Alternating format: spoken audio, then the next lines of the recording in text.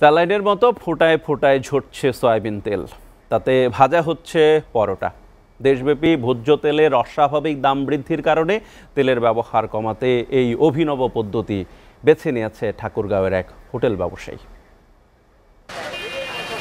ঠাকুরগাঁওয়ে মথুরাপুরের hotel ব্যবসায়ী আব্দুল হামিদ। পরোটা ভাজতে তিনি বেছে নিয়েছেন নতুন এক সাশ্রয়ী অভিনব পদ্ধতি। তেলের বোতলের মুখে স্যালাইনের পাইপ লাগিয়েছেন তিনি। সেখান থেকে ফোটায় ফোটায় ঝরছে সোয়াবিন তেল। সেই তেলে ভাজা হচ্ছে পরোটা। সাম্প্রতিক সময়ে দেশে সোয়াবিন তেলের লাগামহীন দাম বৃদ্ধিতে হামিদ এই পদ্ধতি বেছে নিয়েছেন বলে জানালেন। তেলের দাম বেশি। তেলের জন্য বেশি বেশি তেলের দাম এটা বাইরে। এতে করে তেলের দাম বাড়লেও তাকে বাড়াতে হয়নি পরোটার দাম। সেই সুবিধা পেয়ে তার দোকানে বাড়ছে ক্রেতার ভিড়। বাড়তি লাভ অতিরিক্ত তেল খাওয়া থেকে বেঁচে যাচ্ছেন এলাকার মানুষ। হামিদের পদ্ধতি তার নিজ বাড়িতেও প্রয়োগ করার কথা ভাবছেন। হামিদের উদ্ভাবিত নতুন এই প্রযুক্তি জনসাধারণের মধ্যে ব্যাপক প্রভাব ফেলেছে। সামাজিক যোগাযোগ মাধ্যমও হয়েছে ভাইরাল।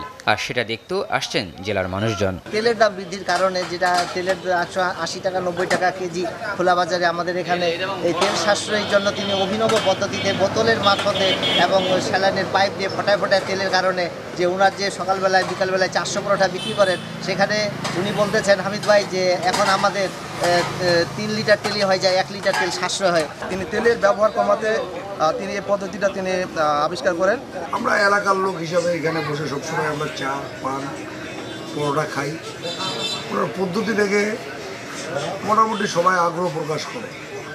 তবে বহুল আলোচিত এই ঘটনা দেখতে পাননি জাতীয় ভোক্তা অধিকার সংরক্ষণ অধিদপ্তরের সহকারী পরিচালক। তিনি বললেন, কেউ যদি এই ধরনের উদ্যোগ নেয়, সেটা নিতে পারে। সেটা ভালোই, তবে সরকার তেলের উপর বিশ ভাগ ভ্যাট প্রত্যাহারের ঘোষণা দিয়েছে। ফলে তেলের মূল্য অচিরে কমবে বলে আশ্বস্ত করলেন তিনি। আমাদের ঠাকুরগাঁও জেলায় কোনো তেলের বর্তমান কোনো সংকট নেই। যে বোতলজাত তেলগুলো আছে, এগুলো হচ্ছে যে নির্ধারিত যে দাম আছে সেই দামেই বিক্রি করা হচ্ছে। এবং হচ্ছে যে কিছু ব্যবসায়ী অসৎ উপায় অবলম্বন করার চেষ্টা করেছে। আমরা এদেরকে সাথে সাথেই ধরে তাদের বিরুদ্ধে আইনগত ব্যবস্থা গ্রহণ করেছি। হামিদের পদ্ধতি এটাই প্রমাণ করে যে সাধারণ দরিদ্র জনগোষ্ঠী কোনো বিপদে মুষড়ে না পড়ে বুদ্ধি ও সৃজনশীলতা দিয়ে প্রতিকূল পরিস্থিতিকে অনুকূলে আনতে পারে। হামিদের পরোটা ভাজার এই পদ্ধতি ছড়িয়ে যাক সবার মাঝে এই প্রত্যাশা সকলের।